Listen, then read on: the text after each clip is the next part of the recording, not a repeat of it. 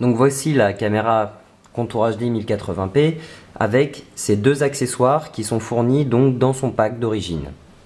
Donc dans cette vidéo, je vais vous expliquer comment les utiliser en fait. On prend la caméra, on voit que sur la fixation, on a un rail et sur la caméra, il y a deux rails de chaque côté.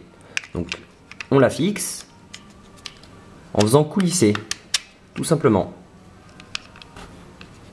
Voilà. Et là, généralement, on remarque que l'autre fixation n'a pas de rail. Il suffit de lever cette petite patte et de tirer sur la fixation. Comme ceci. Donc il n'y a aucun risque, c'est vraiment fait pour ça. Et donc là, on s'aperçoit qu'il y a aussi du scratch, qu'il suffit de scratcher la pastille autocollante. Et voilà, on a remplacé son accessoire par un autre.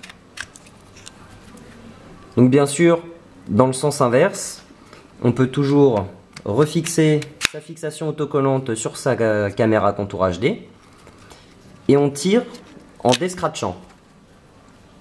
Et voilà. Et donc on peut remettre l'autre fixation. C'est aussi simple que ça.